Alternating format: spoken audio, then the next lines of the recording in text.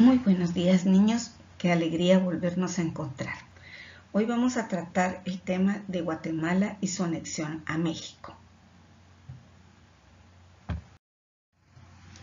Pues bien, la anexión a México sucede aproximadamente cuatro meses después de que fuera firmada el Acta de Independencia, es decir, se lleva a cabo el 5 de enero de 1822. Esta anexión fue promovida por Mariano y José de Aicinena.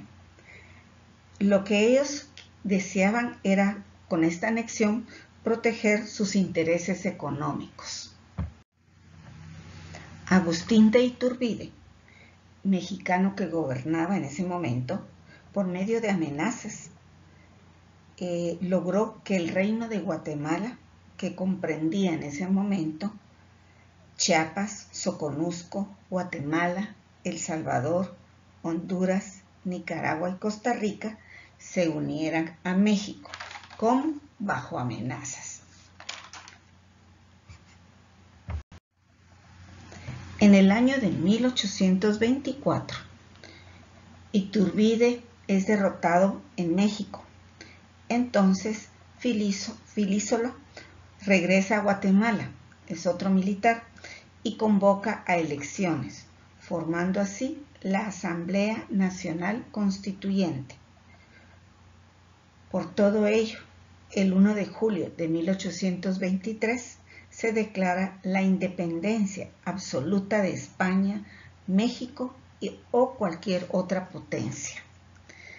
Se acordó también un sistema federal y que el territorio se llamaría Provincias Unidas de Centroamérica, perdiendo Guatemala el territorio de Chiapas y Soconusco que se quedó del lado mexicano.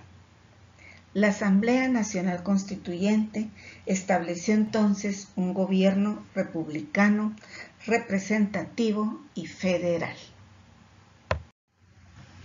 Aquí tenemos a tres personajes Gabino Gainza, Agustín de Iturbide y José Cecilio del Valle, que tuvieron mucho que ver con, en la anexión. Son, se les llama los protagonistas de la anexión.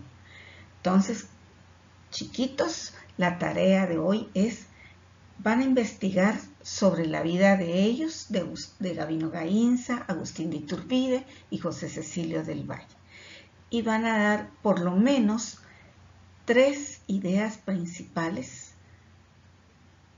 en las que ellos tuvieron eh, importancia, por las que ellos tuvieron importancias en esta anexión.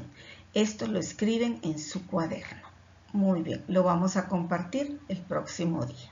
Que tengan buen día y nos seguimos viendo. Hasta pronto, corazones.